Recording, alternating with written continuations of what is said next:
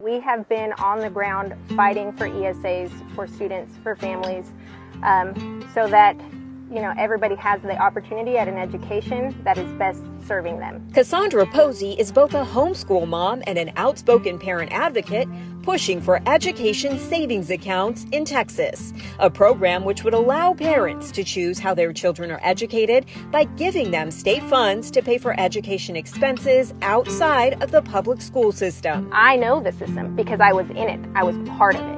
Cassandra is a former public school teacher. I know what is allowed and what's not allowed, what's legal, what's not, and how to advocate for my children. But there are so many parents that don't. Cassandra's upbringing was a big part of what led her to become an education advocate today.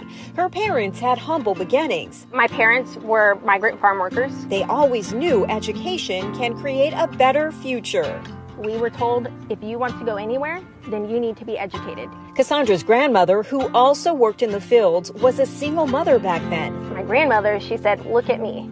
You know, I have 11 of you and I'm working in the fields and I have nothing, and you will have more than that. And education is a way to get there. I was not doing well in high school at all. It was not working for me, and nobody knew why, you know, and, and back then people didn't really care, um, especially if you're a minority and I actually became a teen mother. But then came an opportunity for an alternative learning environment. As it turns out, all Cassandra needed was a different kind of school. Everything changed for me.